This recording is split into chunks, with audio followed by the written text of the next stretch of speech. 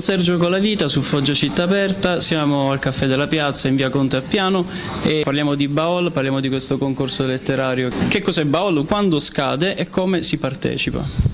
Allora, eh, scade il um, 30 ottobre ufficialmente, però um, sicuramente ci sarà una proroga a giorni che eh, segnaleremo sul sito. Eh, le modalità di partecipazione sono segnate tutte, segnalate tutte sul nostro sito che è www.spazioball.com. Quindi quarta edizione, quest'anno il tema di riferimento è l'amore ai tempi dell'IKEA. Che cosa significa?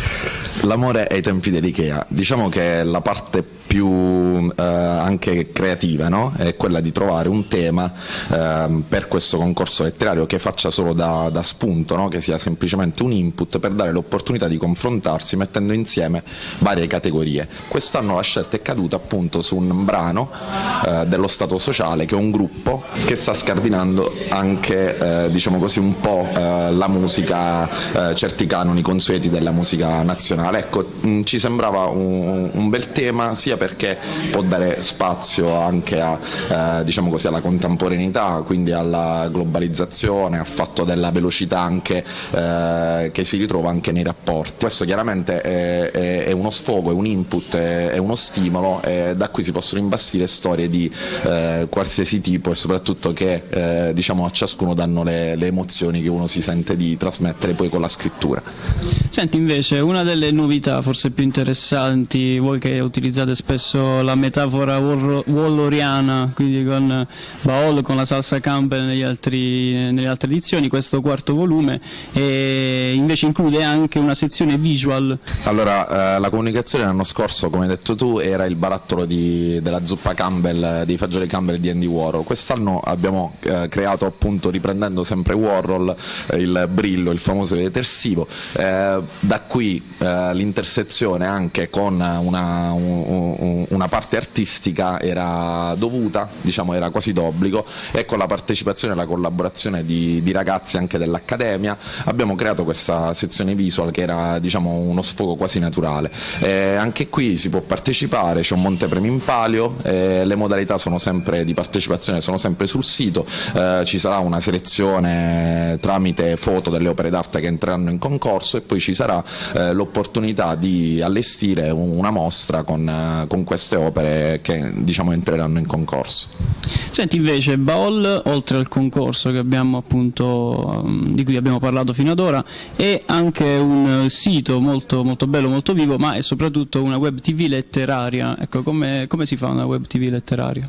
Allora, uh una web tv letteraria è, diciamo così, era una scommessa per parlare di libri eh, che vanno di pari passo con la scrittura eh, in modo diciamo così, anche un po' più fresco, anche un po' più giovane, ehm, diciamo, sullo strumento, sull'oggetto scrivere il libro che mm, può creare un po' di distanze con i, con i ragazzi. No, invece la scommessa era proprio questa, eh, di volta in volta intervistiamo gli scrittori che passano in città. Mm, abbiamo cercato di, di fare in modo che questo concorso di scrittura desse anche delle opportunità, eh, degli indirizzi, dei suggerimenti e chi eh, può darli se non proprio gli scrittori o anche gli editori che sono capitati a tiro di baul? Questa è stata un po' la scommessa, cioè non un semplice concorso dove si scrive e si partecipa, ma anche l'opportunità eh, di parlare dei libri, delle edizioni, come si fa a pubblicare, quali sono le strade che si devono percorrere, il rapporto con la letteratura e con il web che ormai è una cosa diciamo così eh, ovvia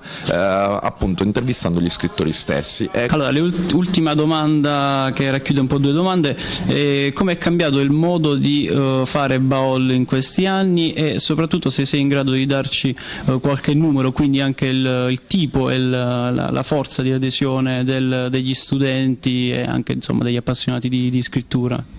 Allora, dalla prima edizione, eh, per quanto riguarda i numeri, dalla prima edizione di 22-23 partecipanti, eh, siamo arrivati all'ultima edizione che era di ehm, eh, oltre 70 partecipanti. Ehm, la cosa bella è stata anche la serata finale, siamo riusciti, a, grazie anche all'impegno della Disu Puglia, eh, a far venire, a far giungere a Foggia e questa è una bella soddisfazione per la città, ehm, studenti che partecipavano anche da Taranto, da Lecce, da Bari. Eh, abbiamo organizzato un pullman, sono venuti a Foggia per partecipare alla serata di premiazione. Eh, sì, è cresciuta e l'evoluzione è proprio quella, una web tv sempre meglio organizzata, contenuti sempre meglio gestiti e anche una campagna di comunicazione sempre più fricchettona, però fricchettona in maniera eh, diciamo così pensata e ragionata, come ad esempio quest'anno c'è la, il brillo e soprattutto il brillo Baol e soprattutto c'è la Magic Box Baol che è praticamente questa mm, diciamo un incrocio tra Art Attack e il favoloso mondo di Amelie,